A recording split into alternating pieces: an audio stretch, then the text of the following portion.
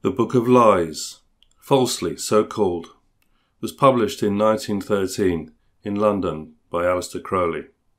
The Book of Lies is also known as Liber 333, a significant number because it is also the number of Aiq Bekar, or the Kabbalah of the Nine Chambers, which numbers all thoughts in Gematria, and also the demon Choronzon, who destroys or disperses thoughts in the tenth Aethyr of Zax. The Book of Lies is a book of duality, because lies implies truth, up implies down, left implies right, and so on. There are many, many jokes and puns in his book.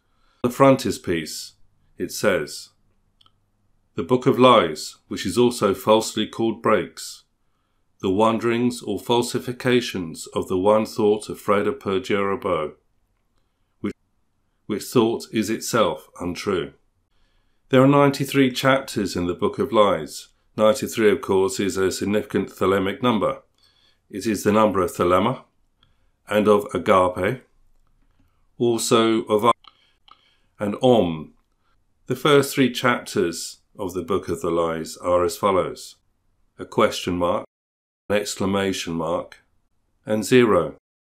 These three represent the supernal triangle on the top of the tree of life. The last chapter is numbered 91 and is known as the Heikal. 91 is the number of Amen. Heikal is also a version of Hickel, which means a palace in Hebrew. Many chapters relate to the tarot. For example, we have 49 Waratah blossoms, 61 is the Fool's Knot, and 78 wheel, and woe. Many chapters relate to ritual. 5. The star ruby. 36. The star sapphire.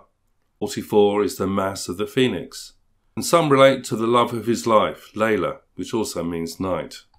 The Book of Lies expresses the duality of thought in terms of truth and lies.